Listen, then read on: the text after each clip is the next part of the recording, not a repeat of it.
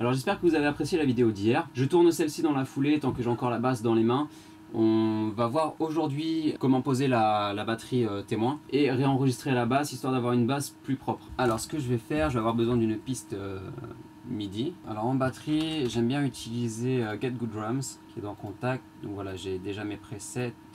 On va désarmer ça et on va se concentrer sur la piste de batterie. Alors, on va utiliser le clavier MIDI.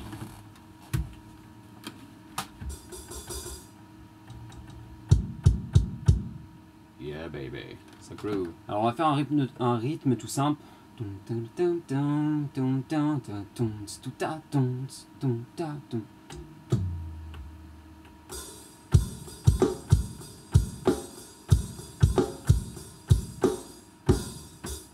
J'aimerais un charlet fermé.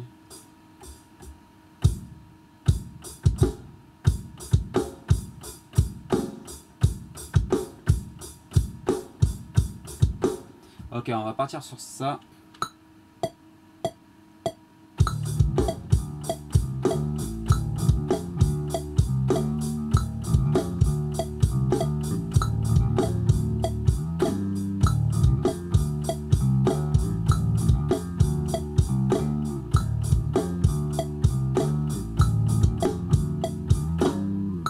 Alors c'est pas très très propre, hein. je suis pas, je suis pas un expert en le piano avec mes doigts désynchronisés. Donc ce qu'on va faire, l'avantage du MIDI, c'est qu'on peut toujours le quantifier, histoire de le remettre en rythme. Évidemment, c'est pas toujours toujours euh, bien réglé. Donc on a dit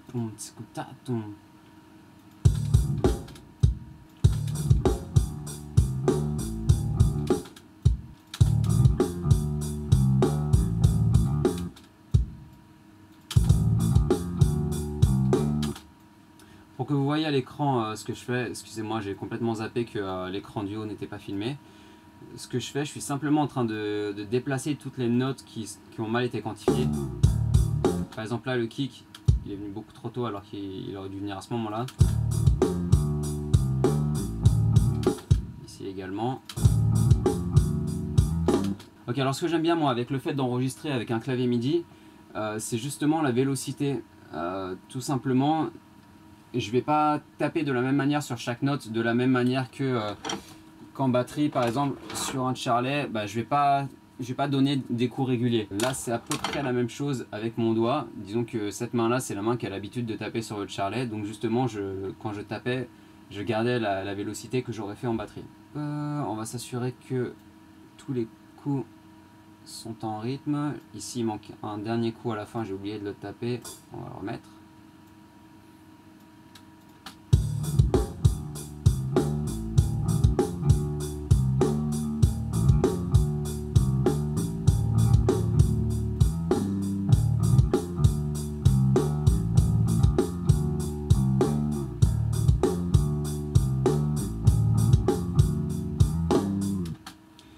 Ok, alors ça, ça me paraît plutôt pas mal. C'est un, rythme de batterie plutôt basique euh, qui, s'adapte tout à fait à la piste de basse. Alors ce qu'on va faire, ma piste de basse témoin, on va la dégager.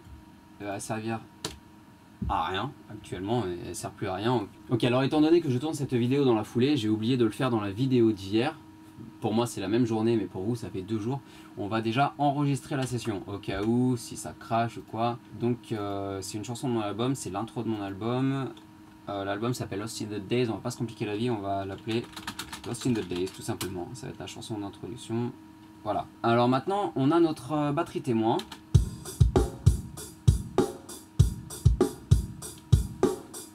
Voilà, donc je devrais avoir beaucoup moins de mal à caler la basse sur une batterie témoin que sur le clic. Certaines personnes préfèrent bosser uniquement avec le clic, d'autres uniquement avec la batterie.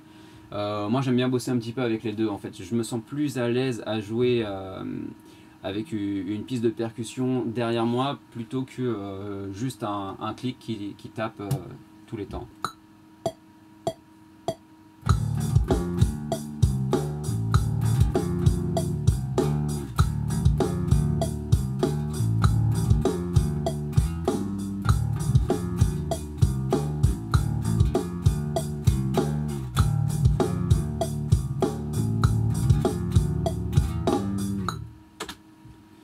Voilà, alors l'avantage de cette chanson c'est que ça va être une boucle continue, tous les éléments euh, vont venir s'ajouter au fur et à mesure, je pense que ça va être assez progressif, on va s'écouter ça, voir si je suis assez en rythme.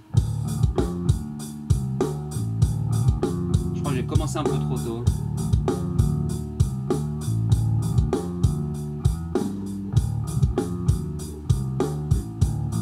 Vous savez quoi, la piste ne me plaît pas, c'est pas, c'est pas propre, c'est pas joli à écouter, on va se la enregistrer.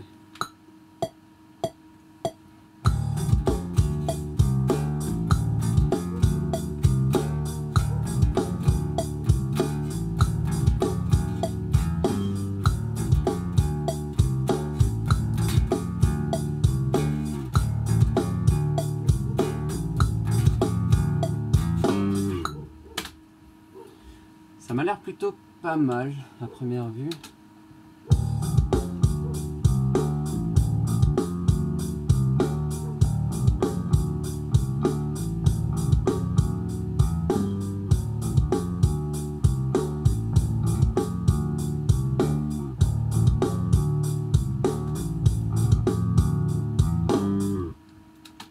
Ok, alors c'est pas trop mal. Maintenant, ce qu'on va faire, quelque chose de très très très très très important, je vais baisser le volume de toutes les pistes.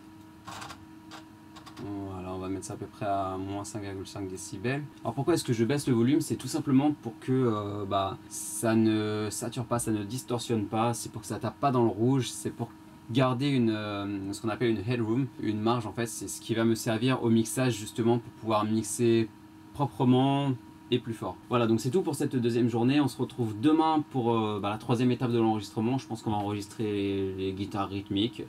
Ouais, ça me paraît plutôt bien. Pensez à laisser un like, pensez à laisser un commentaire, pensez à partager, surtout pensez à vous abonner si ce n'est pas déjà fait. Et euh, bah, n'hésitez pas, si vous le pouvez, et si vous en avez l'envie, euh, à contribuer sur ma page Tipeee ou ma page Pocommun. Ça m'aiderait énormément, soit à me racheter du matériel, soit à rentrer dans mes frais pour l'album. C'était Skyern. Ciao